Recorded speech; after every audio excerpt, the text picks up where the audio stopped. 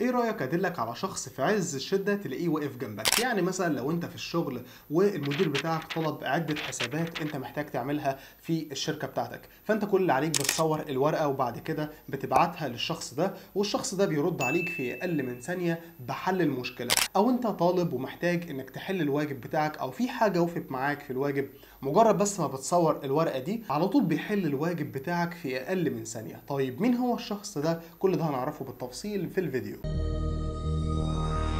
في عصر الذكاء الاصطناعي والمنافسه الشرسة بين ال AI والشركات شركة جوجل مايكروسوفت OpenAI طبعا والأصل هو هيبقى OpenAI المدير التنفيذي له. إيلون ماسك. طبعا دلوقتي لو إحنا جينا نفتح OpenAI كان الأول الخطة المدفوعة ال GPT 3 وكان ال GPT 4 لكن نتفاجئ مع بعض النهارده إن ينزل إصدار GPT 4o اللي هو OpenAI لكن OpenAI دايما بتسعى إن تخلي الشركات يعني يقللوا استخدامهم للبشر ويستخدمهم ال OpenAI طيب عايزين نعرف مين هو GPT 4o طيب تعالوا بينا كده نبدأ ننشئ حساب مع بعض كده الأول. كل اللي عليك بس كده ده طبعا الواجهة الرئيسية. بس أنت محتاج تنشئ حساب بتضغط عندك على كلمة sign up بعد ما تيجي تدخل عندك على gpt.com تمام؟ بعد كده بتضغط عندك هنا على اللي هو تعمل تسجيل ويز جوجل ما عادش بقى زي زمان في دول محظورة والحاجات دي خلاص ما عادش الكلام ده. فأنت بتسجل بحساب جوجل بتاعك وبعد كده بيفتح لك الواجهة اللي قدامك دي.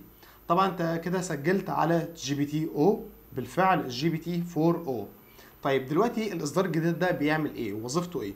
يعني على سبيل المثال لو أنا محتاج إن أنا أحل امتحان فأنا كل اللي عليا بس بضغط عندي على العلامة اللي تحت دي اضغط عليها ضغطة كده وبعد كده بيحولك على الصفحة اللي أنت محتاجها. بعد كده بتنزل تحت مثلا بتحدد الامتحان أو أنت صورت الورقة بتاعتك وبترفعها بتعمل لها upload بالشكل ده كده. وبعد كده بتدي لل ChatGPT أمر إن هو يحل لك الامتحان ده. يعني مثلا أنا هقول له هنا حل لي هذا ال quiz تمام؟ وبعد كده بقول له هنا إرسال. فطبعا هو يبدأ يحل لي ال quiz اللي قدامك ده اللي هو فيه MCQ. طبعا بيجيب لك الإجابات بالتفصيل زي ما أنت شايف كده. تمام؟ يعني أنت تبعت له أي حاجة أو أي صورة أنت محتاج إن هو تعدل فيها أي حاجة هو على طول بيحلها لك.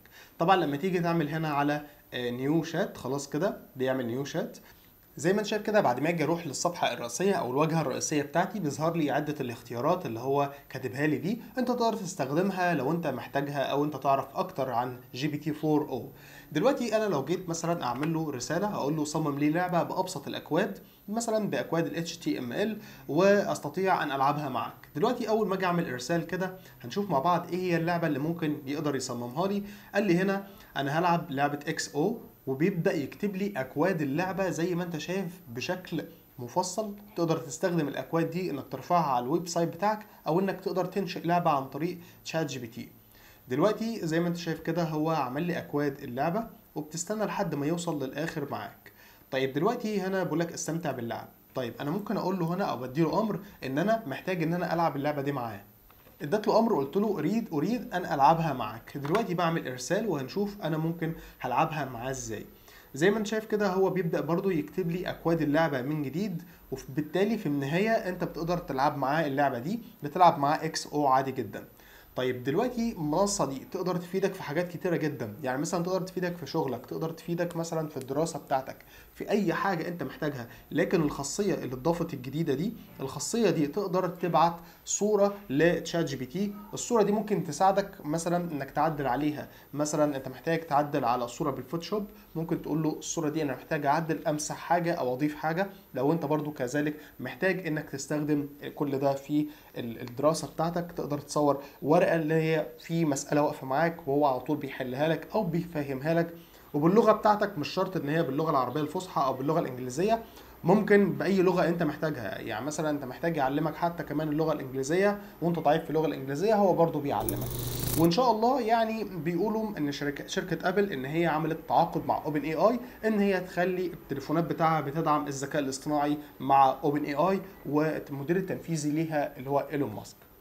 وكده أنا شرح انتهى وكان كل شرحي على GPT 4o دلوقتي لو انت احتجت أي حاجة اتواصل معايا في التعليقات وهتلاقي رابط تسجيل على ChatGPT موجود في الوصف أو التعليقات. وأشوفكم في حلقة جديدة. دمتم بخير. سلام.